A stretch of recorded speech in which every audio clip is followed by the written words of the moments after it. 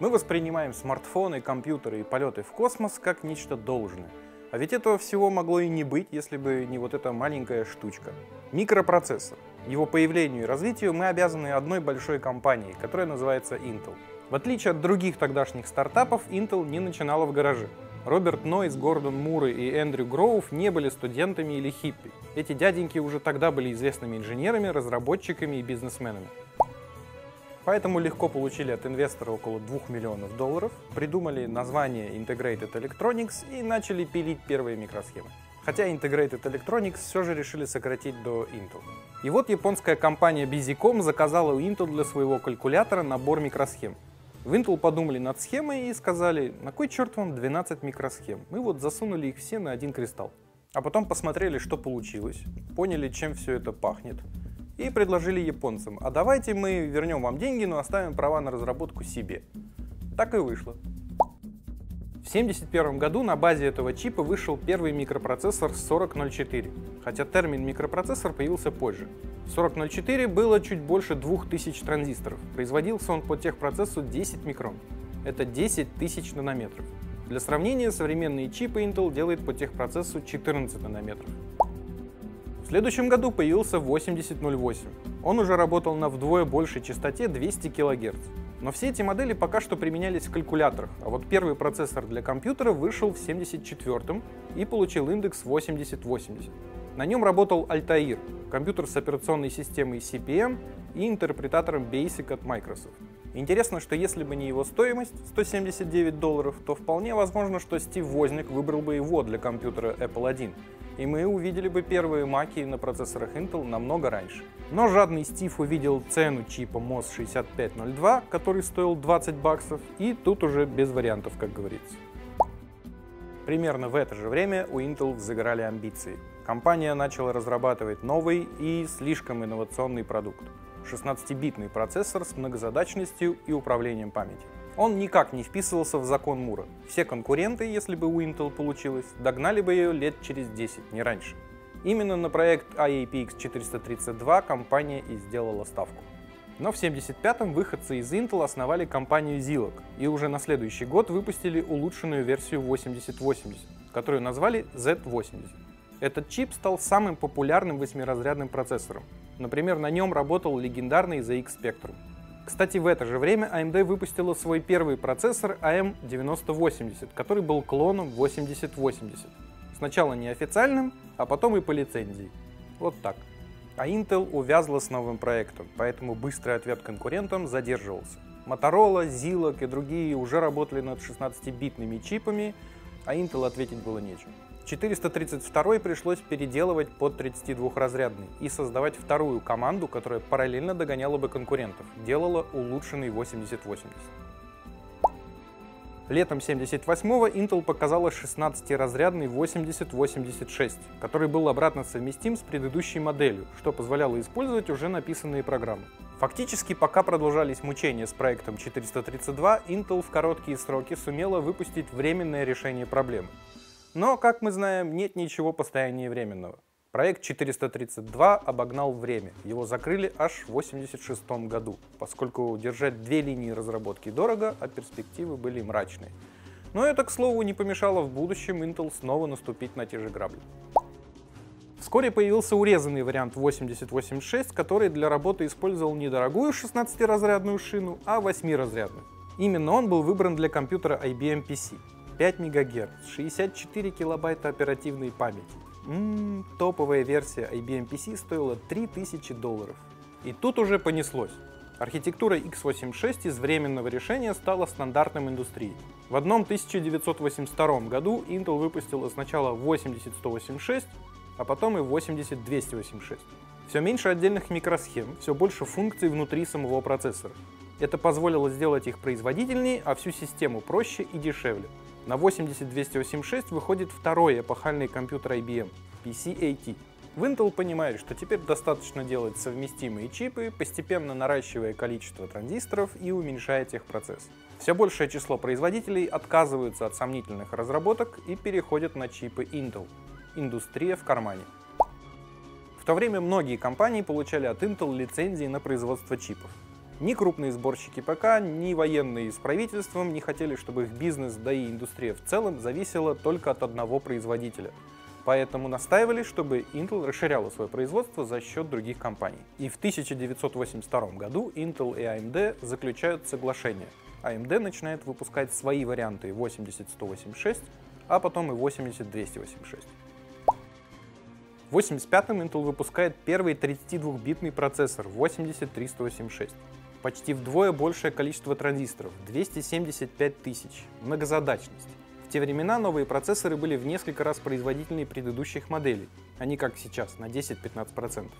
И тут руководство компании решило, что хватит кормить AMD и отказалось передавать спецификации новой модели.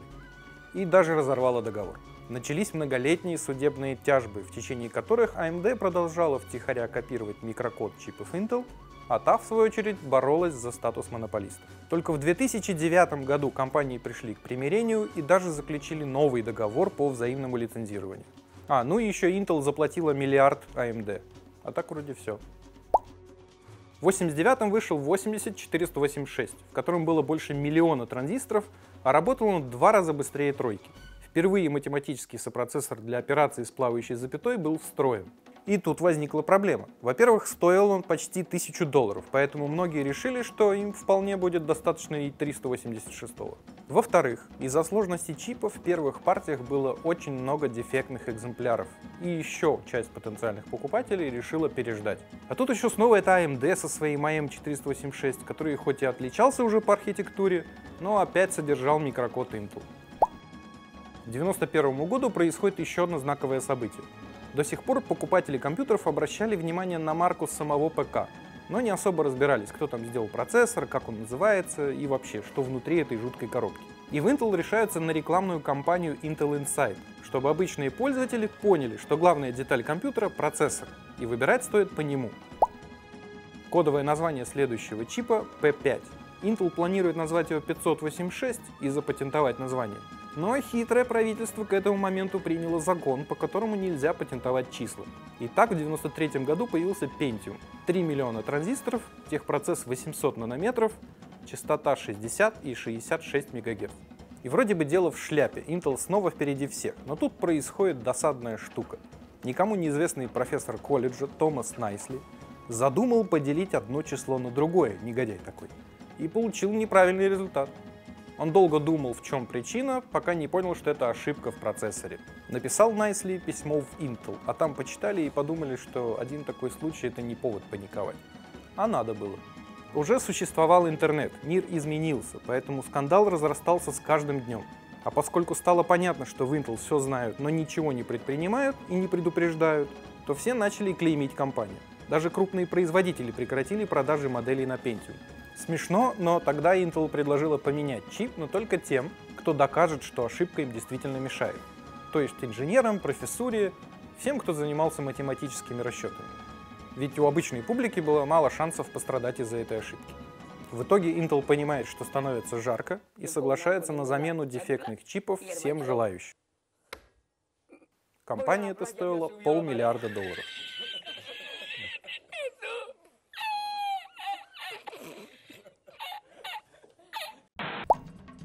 В 95-м появляется вроде как замена Pentium, Pentium Pro. Но потом Intel решает, что это будет скорее процессор для серверов и рабочих станций. 32-разрядный, 5,5 миллионов транзисторов. Вместе с процессором в корпусе была и кэш-память второго уровня. Из-за этого топовая версия с частотой 200 МГц стоила 2700 долларов. На базе Pentium Pro можно было создавать четырехпроцессорные системы.